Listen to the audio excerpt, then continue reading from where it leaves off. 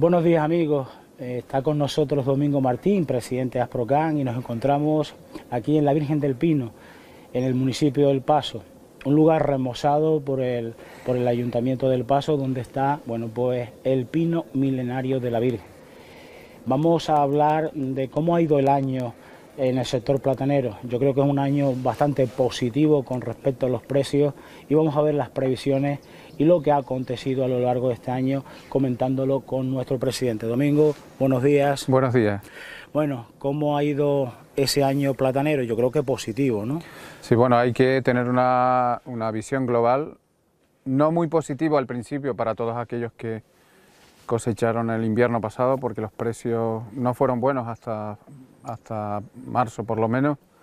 Hubo un adelanto de la producción por climatología de los años anteriores muy cálidos, 2016, 2017, que dieron lugar a una producción muy elevada, un adelanto de la producción, precios muy bajos en invierno y a partir de la primavera es verdad que ha habido un comportamiento de precios que quisiéramos que se repitiera muchas más veces, porque las, las cantidades producidas han estado a niveles muy inferiores a otros ejercicios y ha dado lugar a una falta de, de producto en el mercado que conlleva precios elevados, muy elevados al productor, pero un poco peligrosos de cara al consumidor porque ha dado lugar a que la banana haya penetrado por su precio tan barato en el mercado nacional de manera importante.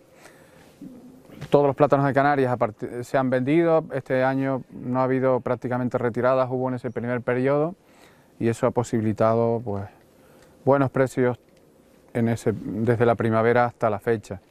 Estimamos que esto durará por lo menos hasta comienzo de este año que viene, en que si no vienen temporales las producciones serán más normales y los precios se deberán, seguramente bajarán cuando en, marzo por ahí ya em, empiecen cantidades importantes. A los precios hay que sumar también, por otra parte, el que se hayan conseguido eh, objetivos que ya llevaban largo plazo sobre la mesa. ¿Cuál es el caso de la ayuda al transporte? Se venía pidiendo que al igual que otros productos canarios se compensara eh, los gastos que tiene el, transporte del plátano de Canarias, fundamentalmente por, por, el poder adquisitivo que ha perdido durante muchos años, por el incremento de costes y porque las bananas cada vez entran de manera más barata en el mercado europeo y nacional dando lugar a una competencia de precios que baja el precio del plátano canario. Este año y ya de hecho ha habido hay comunicaciones de, estas ayudas al transporte, ha habido algún problema al principio burocrático porque en este primer año eh, hubo una definición muy, muy corta sobre cuál era la ayuda, corta en el sentido que solo se ha aplicado al concepto de flete y no a todos los conceptos con lo cual algunas entidades se han afectado. Hay que tener en cuenta también que esta ayuda viene por los costes de flete del año 2017. Eh, es decir, que es aquellas entidades que estuvieran constituidas ese año. ¿no? Y a operadores. ¿no? Y que operaran, que, pagaran los fletes. Es decir, las ayudas vendrán a las empresas que, que pagaron los fletes. Eh, por lo tanto, tenemos ese segundo elemento positivo. Uno es el precio, como hemos visto, el segundo la ayuda al transporte y también, por otra parte, eh, eh, en la constitución del nuevo estatuto, el nuevo REF, el que se consiga el, una resolución también beneficiosa. De eh, mantener ahí esa ayuda al transporte ya fijo, ¿no? Sí, y no solo eso, sino que también desde un punto de, vista fiscal, el, que se mejore el concepto de bienes corporales como, como sometidos a, un coeficiente fiscal mucho mejor para los agricultores. ¿no? Eh, todo eso son elementos positivos, también una, el, el, cómo se vinculan las ayudas estatales al a una disminución de costes en el agua de riego por, por, la energía, facilitando que los costes en ese sentido sean más bajos. Y, no hay sino que decir que todo esto hace que el sector tenga más tiempo de vida en el futuro porque sobre todo se compensan costes que habían, se habían incrementado en los últimos tiempos eh, disminuyendo los ingresos de los agricultores, disminuyendo la rentabilidad de la producción.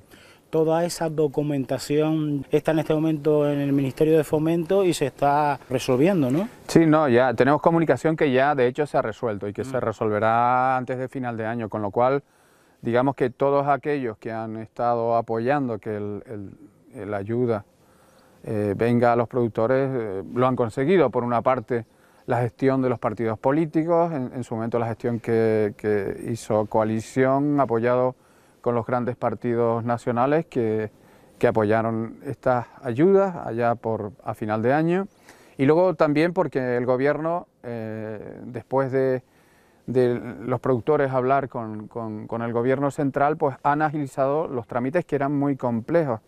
Era muy complicado que salieran porque eh, digamos que se promulgó el decreto muy tarde y, dio, y ha dado lugar a que el tiempo para la tramitación es muy breve y es muy compleja la documentación. En este sentido, pues, nos han apoyado tanto los, partidos eh, que apoyaron en su momento la aprobación como el gobierno central en la agilización del trámite. Por otra parte, mm, Domingo, eh, nos hablaba de, bueno, de, de la banana, del plátano.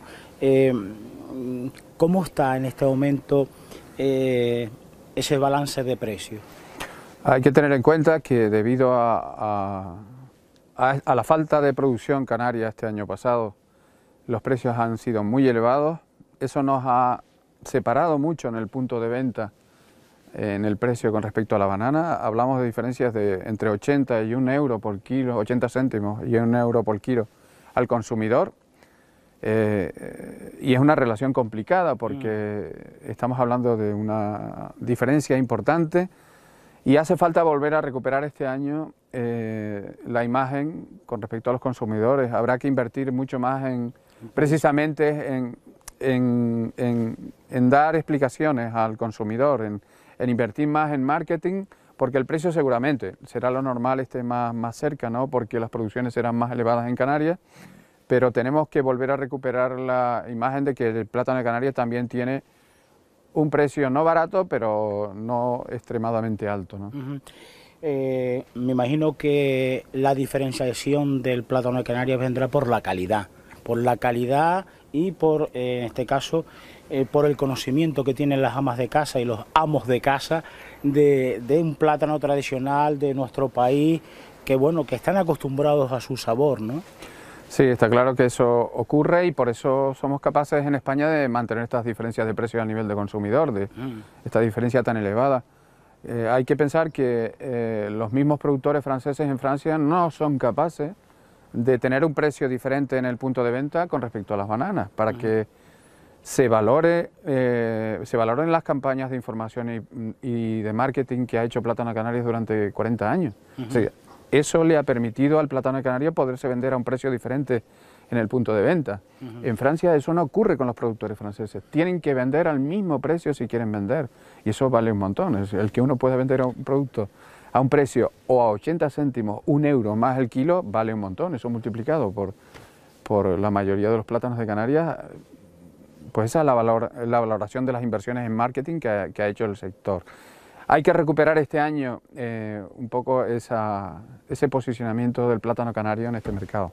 El domingo, si te parece, nos vamos a Europa. Mm, la PEP, Asprocan, eh, el sector en general eh, ha hecho un, trabajo intenso durante este último año. Lo viene haciendo desde, desde siempre, pero este último año, con esa espada de Damocles, de esa bajada del presupuesto de un 3,8%, que al final eh, el comisario de Agricultura dice que no, que igual se va a mantener. Bueno, así es, así es. No, eh, no nos queda más remedio que seguir luchando por demostrarle a las autoridades europeas, de la Comisión fundamentalmente, que los productores de las regiones ultraperiféricas necesitan de las ayudas más que los productores de los continentes. ¿no? Porque dependemos mucho más de, los costes y de nuestra no competitividad con, producciones continentales y no solo producciones continentales, sino organizaciones multinacionales con las que compiten nuestros productos. Y en eso estaremos los próximos meses, porque hasta que al final no se apruebe el nuevo presupuesto comunitario para el periodo 2021-2027, eh, tenemos que seguir luchando y negociando para, y sobre todo demostrando nuestra vulnerabilidad eh, frente a la pérdida de ayuda. Eh, el Parlamento Europeo respalda un poco nuestra posición, ¿no? Hombre, los grandes organismos lo están haciendo el Parlamento y, estamos viendo que, que, parte importante de la Comisión también. Tenemos que seguir negociando y luchando porque no somos los únicos productores de la Unión. El observatorio de precios, bueno, que no era tal observatorio, pero ahora era algo muy parecido, ¿se sigue trabajando con él, Domingo? El observatorio de precios es importante porque eh, digamos que surge cuando hay unos acuerdos internacionales que permiten que las bananas entren de, determinadas partes de América cada vez de manera más barata y lo que sirve el observatorio es para tratar de prevenir invasiones de bananas que den lugar a hundimientos importantes de precios que nos arrastren a los productores comunitarios a, niveles ruinosos. Sirve para eso y el observatorio está en funcionamiento para, prevenir esas situaciones y lo tenemos en, funcionamiento.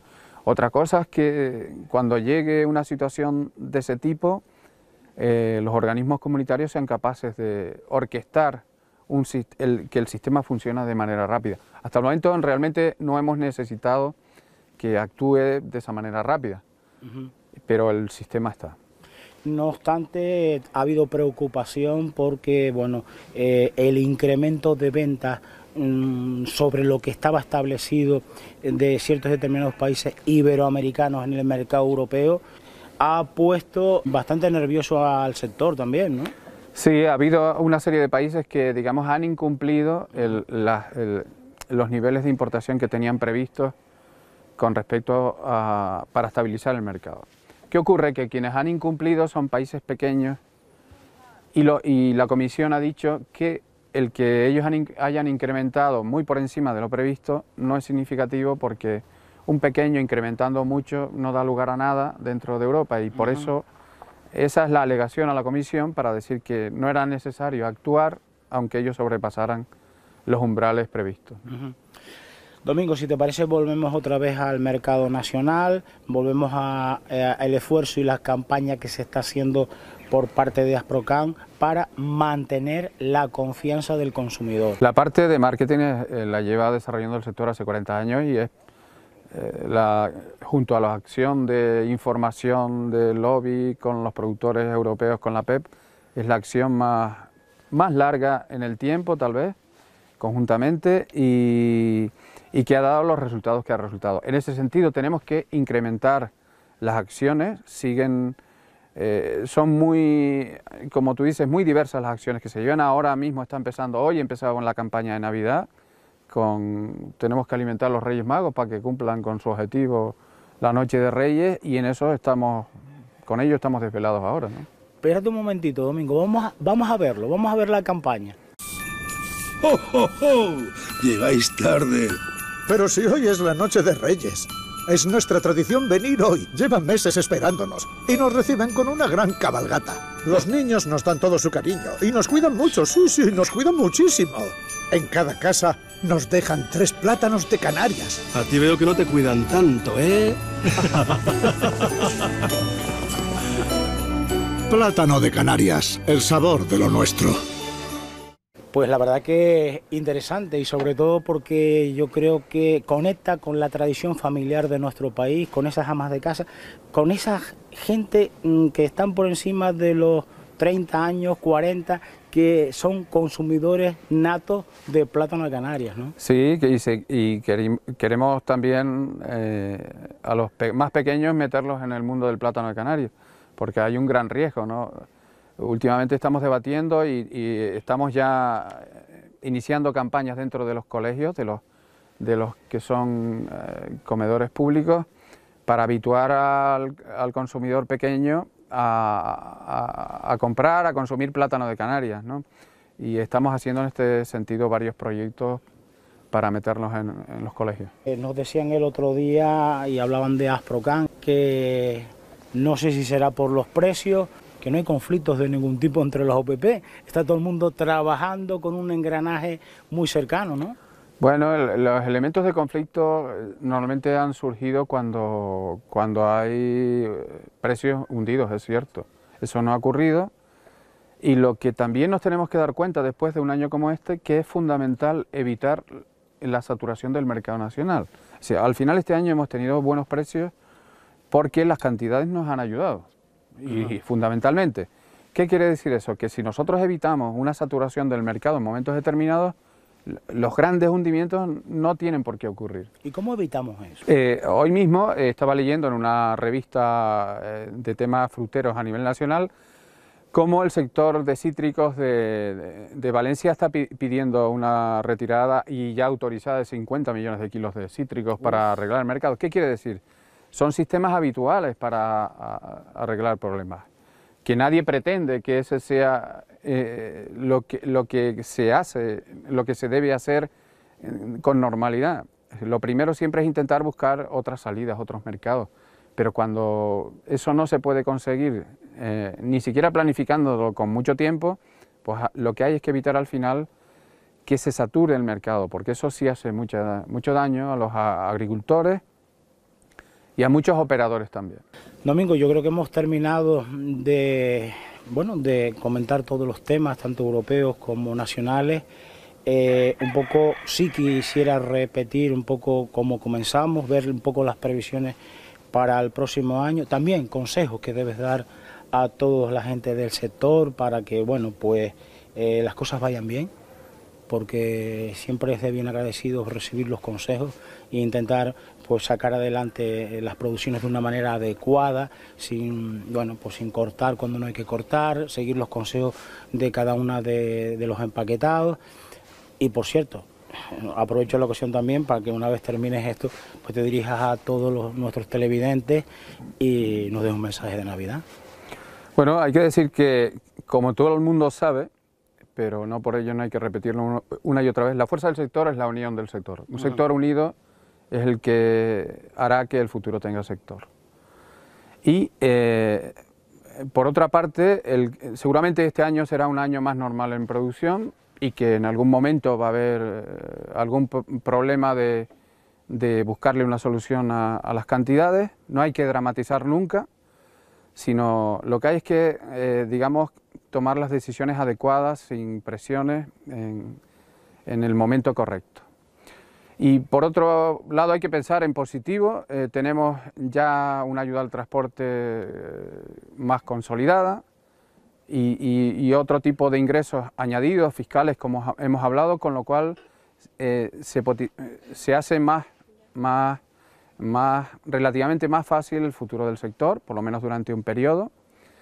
Hay que tener en cuenta también, esperamos, tenemos esperanza que a ver si este año que viene ya queda resuelto el que los presupuestos comunitarios contemplen para el futuro, para el periodo 2021-2027, que las ayudas a las regiones ultraperiféricas se pueden mantener. En eso vamos a seguir luchando con nuestros gobiernos regionales, nacionales y todos nuestros compañeros de las regiones productoras de las ultraperiféricas y en ese sentido, por una parte, tenemos ya elementos para ser positivos y otros la esperanza de serlo.